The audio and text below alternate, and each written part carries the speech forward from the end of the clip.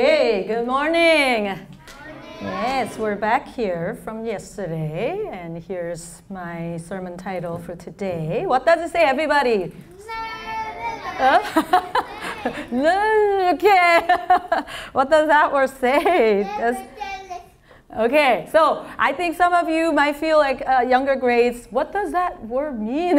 what is that? That looks so long, and it's the fun too. I think it just says, "Nevertheless, give thanks," and it's from Habakkuk chapter three, verses seventeen to nineteen. So you'll find out more about what that means. Now, yesterday we celebrated uh, the day as Thanksgiving Day, right? And in the United States, it's the date's a little bit different every year because it's the fourth Thursday in November every year. And why turkey? Some students, like in uh, younger grades, they ask me, why turkey? And anybody knows? Oh, I said younger grade and they know. Okay, Brandon, why turkey? Long time ago, the United States or some country go to another country to believe Jesus, and then that they were Indian tribes, and they. Ah, you're giving us the first Thanksgiving history.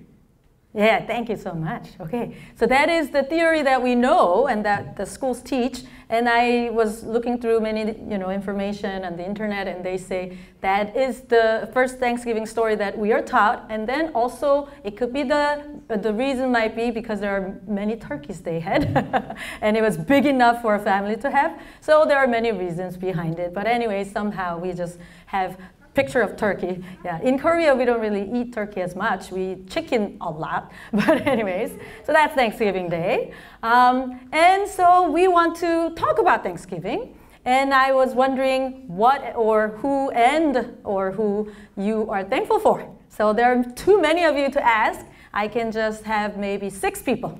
You can raise hand and tell me what you're thankful for. Yes, Shiho. Snack, yes. Wonderful. Hannah. Mom and dad. Mom and dad, of course. Lucas. My home. Your Home. home, your house, your home. Yes, Gun. Game. Game, yes. Shiu. Oh, wait a minute. Okay. yes, Daniel back. Jesus. Money. Oh, Jesus. She says. Money. Money. Okay, I didn't think about that. Yes, James. All your families. Okay, did I already? Uh, that was six people, I think. Oh, that's very similar to what I thought you will say. Okay, so family, of course. Everybody will say, I'm so thankful for my family. Even though older ones didn't say anything, I know inside your heart you're already thinking this, right? Your mom, dad, grandparents, and your siblings, everybody. Maybe you will say, not my sibling, but you are thankful. and friends, of course, right? And school teachers. Nobody said that, okay? but yes, food, water. Somebody said snack. Yes, we're so thankful for all the food that we eat, water, drink, drinks that we have, computer, tablet, PC, phone, games. I knew somebody's going to say that. And my class actually said, I'm thankful for my birthday. They, they, we like thank God for our birthday like two months before. and then we're thankful for Christmas. We're thankful for clothes that we wear. I mean, I'm glad you're all wearing something today.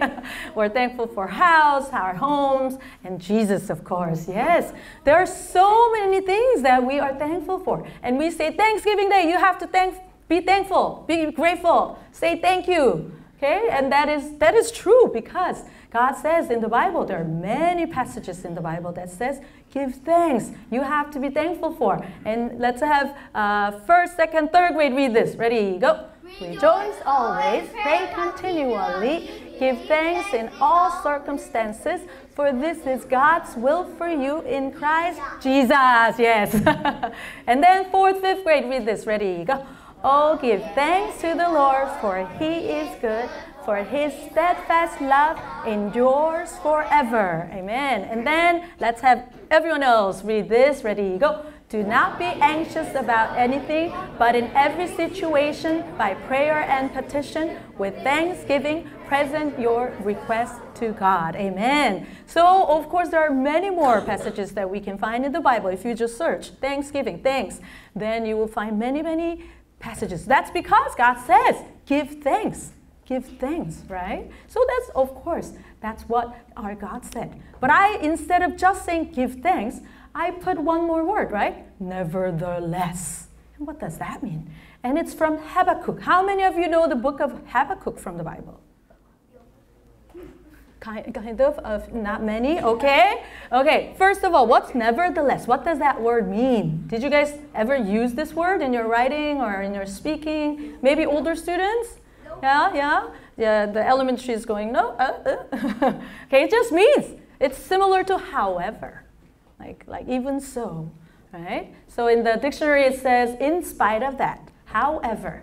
So how do we use it? Maybe something like this. Bruno was tired after a long day at school. Nevertheless, he finished his homework before playing outside. Something like that, right? So this is like how we use nevertheless, right? So what, what's the second uh, sentence that we can think of? It was raining outside, nevertheless, we decided to play a fun game indoors. So it's kind of like however, right?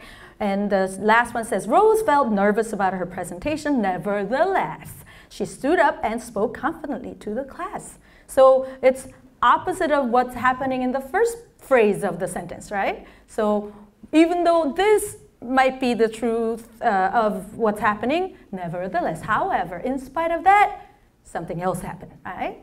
So, why do we talk about that? And Habakkuk is a book, and I will read that, we'll read that again, but let me actually, oops, where did I put that? Yes, this is where the Habakkuk is. So, we look at all of these books in the Old Testament. How many books are there in the Old Testament? Who knows? You. Ooh, ooh. In the Old Testament. Good, good try. Yes, 66 in the whole book of the Bible. Shiu. In the Old Testament, how many books do you know? 100. 100. Too many. Daniel. Yeah. Uh, uh, friend. Nobody from the, the back. Come on. Is this only for elementary? Yes. Jace. 39. 39. Very close. Yes, you're right. What am I thinking? 39. Yes. 39. How I memorize it is 3 times 9 is 27. So altogether 66. And Old Testament 39 and New Testament 27. But anyway, so 39 and it's at the end, almost at the end of the Old Testament is Habakkuk. And in Korean, Habakkuk. And uh, it's a, it's a, a, prophet. Okay, I will go back to that again. But um, uh, Okay, this is the passage. Okay, so let's have uh, older group uh, high school read the uh, verse 17. Ready, go. Though the fig tree does not bud and there are no grapes on the vines, though the olive crop fails and the fields produce no food, though there are no sheep in the pen and no cattle in the stalls. Thank you. And the middle school, uh, verse 18. Ready, go. Yet I will rejoice in the Lord. I will be joyful in God my Savior. Yes. And 19, elementary. Ready, go. The sovereign Lord is my strength. He makes my feet like the feet of a deer. He enables me to tread on the heights. Amen. So actually, when I was younger, like your age, elementary age, we always sang this song.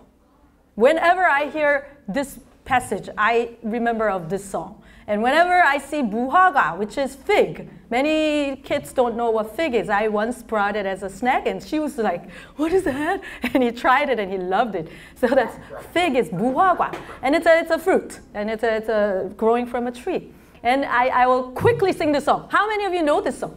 And I, I found out that Marcus Worship, they also uh, connected this song with the other song. Yeah, many of you know it. So we'll just acapella. We'll it quick. One, two, three, and one, two, go. 무화과 나무 잎이 마르고 포도 열매가 없으며 감람나무 열매 그치고 논밭에 식물이 없어도 우리의 양떼가 없으며 외양간 송아지 없어도 난 여호와로 즐거워하리 난 여호와로 즐거워하리 난 구원의 하나님을 인해 기뻐하리라. Yeah, maybe you heard it somewhere, maybe you sang it at church. But anyways, this was a song that I sang since I was young. And and it just still whenever I see 무화과 fig, this is the song. it's just it's just just uh, automatic. And we had dances. I think I even taught this in China when I was like uh, teaching songs, praise songs to some Chinese churches. And because it, it, that's how much I love this song and how much I love this passage. Because in uh, Habakkuk, this prophet, out of many prophets, and many prophets actually in the Bible, minor prophets, they do talk about how God, they, they you know, ask God. And of course, God gives them message. And you guys know prof- what prophet is, right? Prophet is a person in the Bible who gives words to people. Because in the Old Testament, Jesus didn't come yet, so they didn't talk to God in person. They couldn't do that. So then prophets will come and say, This is God's message. You know, and usually it's the message of punishment, but at the same time, after the punishment, they always say, but God is gracious, right? And Habakkuk was complaining. If you get a chance, it's only three chapters. It's not much. So you can read it at home, right? And he says, like, why, God, are you letting these people sin like this? They're so violent. They're doing such bad things. Why are you just letting them be? And he was talking about not people who are not Christian, but he was, he was talking about Israelites, like people of Judah who were God's people, Jews, right? And he was so angry because they were not following God's word and they were not obeying, they were sinning. And God, you're good, you're righteous. Why aren't you doing anything? And then in the second chapter, he says, I will then use people of not God, uh, uh, Babylonians, to um, punish them. And then Habakkuk gets angry again. What do you mean? Why are you using those even more wicked people to punish your own people? And he's just keep on talking with God. And God says, I love my people and I need to teach them the right way, right? And then actually the Habakkuk ends with the passage that you just read. Of course, he wasn't singing, but that's how he said at the end of this passage how, how even if we are in this very hard situation, even if we don't have all of these things, um, just like the passage says when we go back to that passage. Uh, okay, even if we don't have a fig on the tree, right? And there are no grapes on the vines, their uh, olive crop fails. So that means it, it, it just means there's nothing. No animal, no fruit, no crops, nothing. There's nothing. But still, yet, meaning nevertheless, I will be happy. Nevertheless, I'll be joyful. Nevertheless, I'll be thankful. And that is what Habakkuk's saying in this Bible passage. And um, it is very hard to say that, actually. Uh, in this world right now, uh, of course, we don't really have to look for figs. You don't have to only eat figs, right? But there are many other fruit, many other food. As you guys said, we have wonderful snack, right? Um, and there are some challenging tests that's coming up your way. What? And there are some conflicts that might be happening in your friendship or even with your siblings or even with your parents. There are many things that's happening in our lives right now that you feel like it is not matching with what we just read, but we also have some things that happen that we, you feel like we do have many things to be thankful for, but at the same time, there's so many things that's happening around us that you feel like, how can we be thankful, Lord? God, please, what do you mean? You're so righteous. Why is this happening in this world right now? Or why is this happening to me right now? You know, we can ask God that those questions. And there are wars going on. You all know that, right? And I talk about this to my first, second grade, and they're scared. What? What do you mean? And there are wars happening right now. Even our country, a lot of people from outside feel like South Korea is not a safe place. We, you all know, right? You read the news, and North Korea is sending all these balloons, and there are so many things happening. And even I don't, you know, I I don't talk about politics, but you know, right in right now in Korea, there are many things happening. If you are reading news, right, about the president, and there's so many things, right, and nothing seems settled. Nothing seems peaceful. Right now in Juniper Christian School, we we feel peace, but just out the door, there are so many things happening, right, and and that is what's happening in this world. And when all these things are happening, still we say, nevertheless we'll be thankful. Nevertheless, we'll be giving thanks to our Lord our God because He's good, loving, and strong. But that's not the end. Oops. That's not the end, but it's not there. I just updated it, but too late. Okay. That is not the end because it's not one sided. You know, when we say, oh, okay, even though that's all happening, nevertheless, I'll give thanks. So this is what I do. Then what about God? Of course, He says, nevertheless, even if you sin, even if you make conflicts, even if you fail your tests, even if you're afraid of all these things that's happening in your life, even if you want to give up and say, I want to die, I don't want this anymore, even if you say that, God is so good and loving and caring and He's strong and gracious, He will say, Nevertheless, I love you. I care for you. So you trust me. That is what God is saying. When we say nevertheless give thanks, I don't just mean, oh, that's just what we do because we are sinful, because we are God's people, we just have to follow Him, and that's it. And of course, that is true. Nothing's wrong with that. But I'm saying it's the relationship we have with our God. When we say give thanks, because even if you don't have tablet PC, even if you don't have phone, even if you are so sick, even if you are not doing so well in class, I don't know, maybe you don't have a lot of friends, maybe you're not as popular as someone else.